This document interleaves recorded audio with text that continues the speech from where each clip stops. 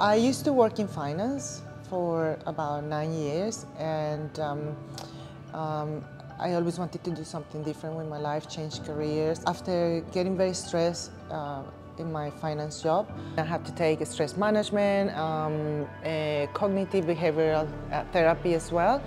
And after some time away, I went back to work and um, I realized it was the same. It was stressful, it was aggressive, it was competitive. Uh, I felt very lonely and so I decided to resign after a month of going back to work and um, here I am as a personal trainer now.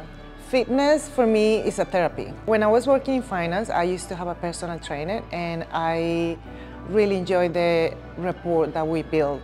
When I train, I focus on myself and um, getting better every day, uh, focusing on my goals, my you know achievable goals, and when I see the progress, I feel amazing, and that's why I love it.